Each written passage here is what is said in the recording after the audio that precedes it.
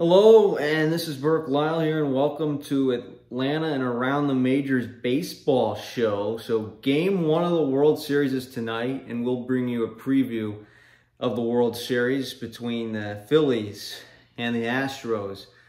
And it's hard to believe both of these teams have been around. The Phillies going back to the 1880s, the Astros going back to the 1960s, so the Phillies going being around way longer. But they'll be meeting in the World Series for the first time, and granted, the Astros have only been in the National League for uh, 10 years now, or the American League for 10 years, while the Phillies, this is their first playoff appearance since 2011, the last time they made the playoffs. The Astros were in the National League, but they're facing off in the World Series uh, this year in two different teams. Houston won 106 games, ran away with the AL West, and the AL West was over for weeks if not months, while the Phillies, last team into the playoffs. And it's interesting, I read an article, MLB.com, where the Phillies, if they were two rule changes helped them one, there's the extra wild card this year.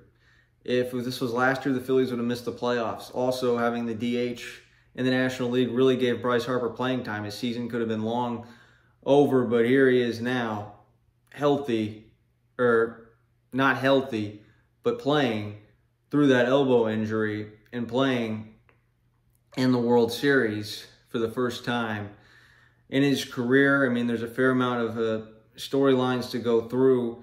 I mean, Dusty Baker managing the World Series back-to-back years has been managing for 30 years now, almost 30 years. You know, a few years off here and there. The Giants lost in the 2002 World Series. The Cubs 2003 lost to the Marlins in the league championship series, went to the Reds, had success there, but lost in the postseason each time. And then the Nationals actually managed Bryce Harper in Washington, now is managing against them in this World Series. And for Baker losing the World Series last year, trying to win that World Series, and Houston trying to win another World Series, one in 2017, when they beat the Dodgers on the other hand, Bryce Harper playing in his first fall classic. He's waited 11 years for this, came up in 2012 as a 19 year old. Had a lot of success with the Nationals. The Nationals went to the playoffs four times in his time in Washington, yet they lost in the first round. Each time, I think they lost game five, three of those times. In fact, he goes to the Phillies, and then the next year, first year in Philadelphia, the Nationals won the World Series without him and playing in the playoffs for, for the first time with the Phillies, also playing in the World Series. And for the Phillies, this is their first time back here since 09, a very different team. If I had to compare the two teams, I kind of did in my head a couple days ago, I would say that the Phillies back then are better than they are now. Since, again, those Phillies teams, some of those teams, won games in the 90s every year and were, I guess, expected to go to the World Series. This Phillies team was different and I just want to go through each team's run and kind of ha- and kind of the trends of the playoffs. So going back about three weeks, it was Phillies Cardinals, and they were down two to nothing in that game one. Yet they found a way to win. Segura got that go ahead hit, putting the ball in play. They won the next game, two to nothing. Aaron Nola really good. Alvarado Dominguez, Bryce Harper, and Eflin the rest of the way. Bryce Harper with that home run. And then they play the 101 Braves, the defending World Series champions. And they win game one after taking a 7-1 lead. Again, those two-out singles in that first inning. Bryce Harper, Nick Castellanos. They lose game two. Wheeler pitched well into the sixth inning, then gave up those singles. And then game three, that was really the turning point of the whole series. Spencer Strider trying to come back from injury uh, Hoskins hit kind of a flat fastball for a home run. He was, at the times, really struggling in the playoffs. I think he was 1 for 18 at the time. Bryce Harper a home run in the third inning as well. Aaron Nola pitched a good game, and then Marsh hits that inside. It's a home run. Realmuto inside the park home run. Harper homers again. They really take care of the uh, Phillies, or of the Braves in that series. And when you think about it, uh, what they were what they were doing, you know, it's funny. I'm watching MLB Network on the background. They're showing Bryce Harper, uh, Nationals, and uh, Phillies highlights. But just uh, looking uh, back at it, I might as well turn the TV off. It's a little bit uh, distracting. So, anyways, just looking back at uh, Phillies being a Braves team that was way better than them, and the Braves defending World Series champions, a Braves team that won 100 games the previous season.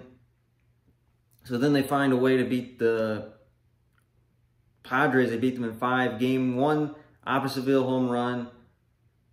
Harper barely got it out. Schwarber had almost a 500 foot shot. Zack Wheeler was really good in that game. They lose game two, and that's when Nola was in the middle innings. Had a 4 0 lead, yet they lost that game, which, by the way, this brings to the point of a postseason concern.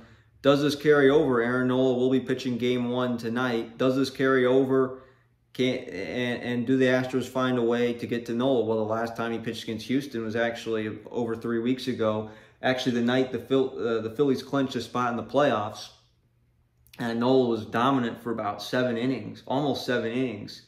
And that's a good history against Houston. Now, granted, struggled against the Padres. So, which side of Nola do you get the Nola that we got, say, against Houston in the first two sides of the playoffs? Or do you get the Aaron Nola that that we saw last week. And if you get there Nola that we saw last week, Houston takes a one nothing uh, lead as well. So that's a question you need to ask. And, and granted, despite the names Nola and Verlander, both of them have had some rough starts this playoffs. This game could be higher scoring than you might think. I think that's a possibility tonight. Game three, uh, Phillies Padres a week ago. Ranger Suarez, five effective innings, Eflin Alvarado Dominguez get the final 12 outs, six from Seranthony Dominguez. So that's so the, the trend that we've been seeing uh, throughout this uh, playoffs is again sometimes Nolan Wheeler can give you six, seven innings, and then the rest of the way, is it Alvarado? Is it Dominguez? Also Zach Eflin, who has been a starter for much of his career now, whether he moves back in the rotation or not next year, that's another question. Wasn't I think what it was is just did not have enough strength to be a starter here in the in this playoff. So that's who he might be relying on uh, to pitch for you to get those outs as well that aren't from starters, especially say after a game two. So game four, they win ten to six, go up three to one. I think Bailey Falter started that game. was not on this was not on the World Series roster and that's and that's a question for the Phillies. Who starts a game four? From what we're reading about and going through the trends, you wonder who would be their game four starter. You might rely on Noah Syndergaard, who really hasn't pitched that deep. And again, that game when they beat the Phillies or when they beat the Braves uh, two weeks ago in that game four, they they did not really have a true starter. It was more of a bullpen game, and you wonder if that's going to be the same thing uh, here in Game Four, where Houston will have, say, a Christian Javier or a Lance McCullers, one or the other. So that's advantage Houston. So here's the thing Verlander and Valdez, Wheeler, Nola. I would still say slightly advantage Houston. I mean, it's close. If you want guys to win for you as starting pitchers, those are your two guys. So Philly needs to win at least one of these games in order to stay in the series. Because if they don't, I feel like it could potentially be a sweep. I feel like it could be a sweep, and, and I just say that based off starting pitching. Now, now, granted, things could change. I wouldn't be shocked if the Phillies found a way to win. We're up to not two. Oh, I think these first two games could go either way. Since you have two great starting pitchers, can they find a way to out uh, duel each other? So that's what happened there. So game four, again, neither starter got out of that first inning. Padres up four to nothing, six to four. Rhys Hoskins two home runs. By the way, Rhys Hoskins hitting home runs throughout that series, Hoskins really becoming, really stepping up big. I think he's had five home runs this October. Bryce Harper at that go-ahead double. And then game five, uh, they win four to three. Bryce Harper hits that go-ahead home run. Zack Wheeler also uh, pitched well for them as well. So Harper in that go at home run, and again, swing of his life. And you think about Bryce Harper throughout his career, winning two MVPs, becoming one of the most hyped baseball players coming in the league ever, coming in the league at 19 in Washington, and then hitting that uh, go at home run to send the Phillies to increase their odds of going to the World Series. That go at home run in the eighth inning. And Ranger Suarez, by the way, one day's rest, two pitches, two outs, with runners on second and third and it was a nerve wracking series. Well, yes, they won the series 4 to 1. Game one was close. Game three was fairly close. Game four, they were trailing. They found a way to win. They could have lost that game. Also could have lost game five as well. But the Phillies, at the end of the day, they won that series. So now let's talk about the Astros journey. Uh, so for Houston, that Mariners series, by the way, that series could have gone either way. Game one, you're one out away, one strike away from winning. Yordan Alvarez, one out away. It's a walk-off home run. It was uh, Robbie Ray pitching. They were down 7 to three before Bregman hit that two-run home run. That's a game the Mariners should have won. Game two, find a way to beat Castillo. Valdez pitches well enough. Bullpen does a great job. Yordan Alvarez, go ahead, two-run home run in the sixth inning, 3-2 lead. That changes everything. And then, by the way, game three wasn't until Jeremy Pena hit that go-ahead home run in the 18th inning, by the way, and Luis Garcia got the last 15 outs, which, by the way, talking about Luis Garcia, the Phillies desperately need someone like a Luis Garcia, like a Jose Urquidy. One of those two guys would easily be pitching for the Phillies right now and would certainly be a reliable four starter for them uh, right now. Well, guess what? Garcia, I don't think I've seen him pitch any or very little. I don't think any since then. So by the way, that that's just that's just the Astros having their extra uh, starters. So by the way, Pena that go at home run. So again, they find a, they beat Seattle, which again, the Mariners could have gotten a couple extra hits in that game for scores. They win that game, finish game one. That series could have gone either way. That series could have gone five games. The Mariners actually could have very well won that series. That was a very uh, close series, by the way. Uh, then they beat the Yankees in four. So again, Verlander strikes out 11 in six innings, but Verlander struggled in game one, and he did give up that home run to Bader through 65 pitches through three innings. Yankees had a chance to capitalize, and they couldn't do it. So the question is, can the Phillies make him work, and can they give him challenging innings? If they can, this is a game that the Phillies can win tonight, but that's what they need to look for, moments like that. Game two, they win 3 to two. Valdez has been a trend throughout the playoffs, seven innings, nine strikeouts, zero earned runs. Bregman threw in home run really made that difference for them. Tucker catch at the wall in the eighth, is just a few feet away. Game one or two, the Yankees could have won potentially. Game three, Javier was great. Allowed just one hit. Again, three walks. Now, granted, if he has three walks against the Philly lineup, does that turn into more runs? That's something to walk, watch out for. Can he keep the walks down? And the question is, can Javier give you six good innings in, say, a game four? And that's the advantage that Houston has. Ranger Suarez struggled, had to labor against the Braves. And then, yes, pitched well against the Padres, but is not the type of starter that I guess you expect to go deep. I mean, I don't know. His pitch counts were fairly similar in those two games. One was efficient, the other one not. Uh, so the question is, Houston, I'd take Lance McCullers over Suarez, and I'd definitely take Christian Javier over, say, a Noah Syndergaard or whoever the Phillies will run out for in that game four, that's when Houston that's when Houston really has more of an advantage, and they do have a better bullpen. Their bullpen is a lot deeper than than the uh, Phillies bullpen. And again, Dominguez and Alvarado, those are the guys you trust. Eflin, I don't know how much you trust him, and then the rest of the bullpen, you, you don't quite know what you're going to get. So that's what you have there. And Houston took advantage of that error in game three. Game four, they rallied. I mean, I talked at length about that game on Monday about what happened is Jeremy Pena, go ahead, three run home run, ALCS MVP. Alvarez tied the game in the seventh, the single, single. Bregman the go ahead hit. So Bregman coming up big. So again, that, that's what Houston can do, find, finding ways to win games. I mean, there's there's certain games that Houston could have lost. They could have lost all three games to the Mariners. They could have lost game one, could have lost game two, could have lost game four, but they found a way uh, to win and they were able to find a way to sweep the series. Now, could have the Yankees won a game or two in that series, and could could have this could have that series gone five or six? Sure, it could have. Just like that Mariners series could have gone four or five either way type series. But that Yankee that Yankee series, the Astros deserved to win. They were clearly the better team, uh, no question about it. They won four games. Yankees couldn't win one of those games. Uh, Phillies, yes, they won in five as well. And both of these teams found ways to win games that they could have lost. Down 4 nothing, could have lost that game. Down 6 to 4, could have lost that game. But they found a way uh, to win. And by the way, Houston is undefeated this postseason, which very well uh, couldn't be. 7 and 0. Philly lost two games. They lost game two to the Braves, and then they lost game two to the Padres before winning the last three in Philadelphia. And again, that Bryce Harper home run, finding a way to win the game.